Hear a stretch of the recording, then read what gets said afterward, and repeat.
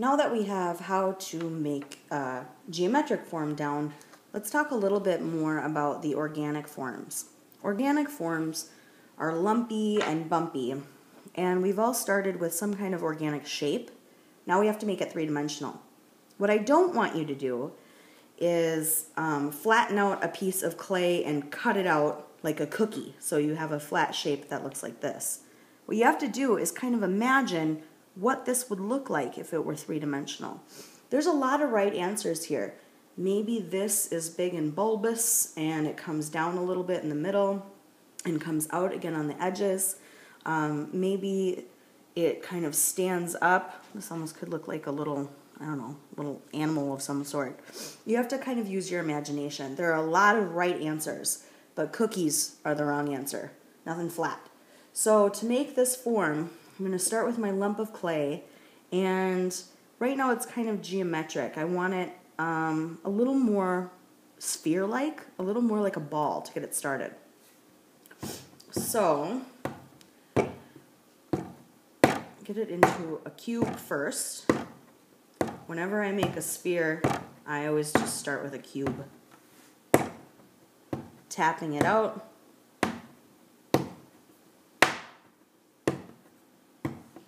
Then padding in the edges.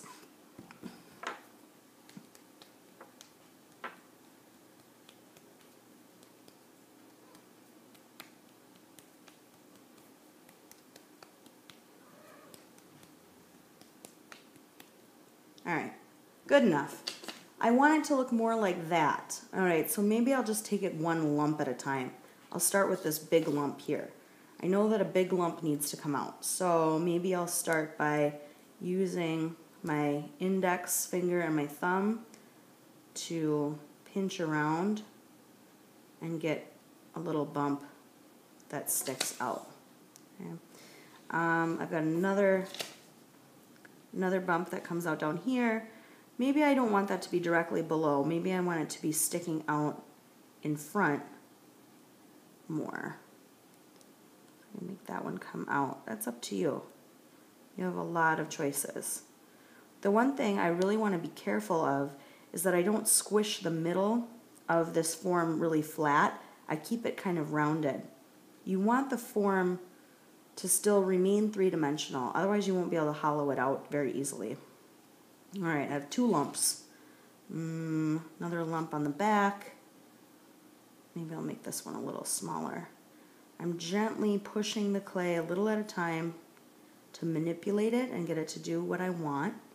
I don't want to make I don't want to make the clay go faster than it wants to go, just a little bit at a time to change the form and shape.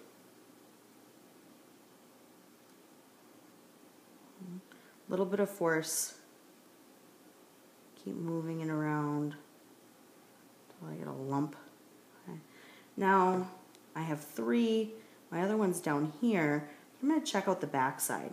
Now the back side looks a little more boring. I've got something coming up here. Maybe I need a divot.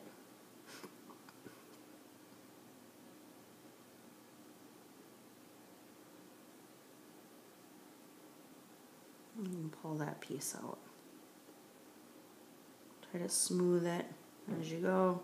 Doesn't have to be perfectly smooth. We'll do the finishing smoothing touches later. And that was kind of fun. Maybe I'll make another little divot there.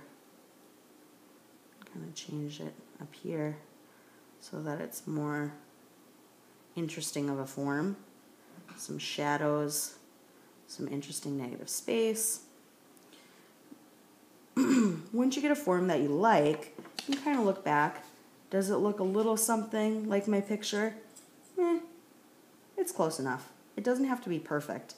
Um, the point is to make it interesting from all sides. So it has the basic shape turned into form, and then we really want to look at the top and the bottom. Is it still interesting from this side?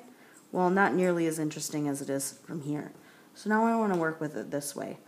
Maybe I should pull this up a little bit, little by little, so it's more interesting up here.